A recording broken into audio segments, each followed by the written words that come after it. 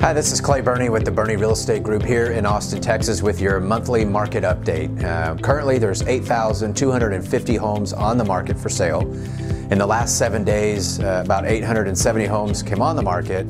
That same time period, about 1,100 homes sold, but of those 1,100, 185 came back on the market. So it's pretty even with what's coming on the market to what's staying uh, selling.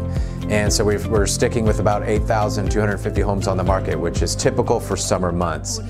Uh, overall, prices are up from last year. Number of uh, homes that are selling are up from last year. What's interesting is that the days on the market homes are uh, taking to sell is actually up five days from last year. So we're seeing a little bit of changing going on. Uh, interest rates are really low. This is an amazing window of opportunity to sell your home. Probably not seen anything like this in a long time. If you're thinking about selling, this is the time to do it. Call me at 512 942 7880 and have an awesome day.